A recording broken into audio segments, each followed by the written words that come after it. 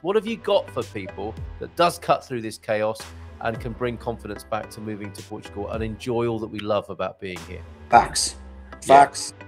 simple facts, and then basically options. Most, I suppose, attractive uh, way to gain a residency for um, people that's looking at Portugal for a residency, whether it's be a temporary residency or actually to, to live here, either be the D2 or the D7. Now, a lot of people who are doing this don't want to be here or can't be here but want to have the residency and so on. So what we've done is we've put together a lot of options that sort of shortens the time period uh, because we can help them with the, getting their NIF number, of course, with their bank accounts, setting up the companies. We have the team that can take care of everything from A to Z.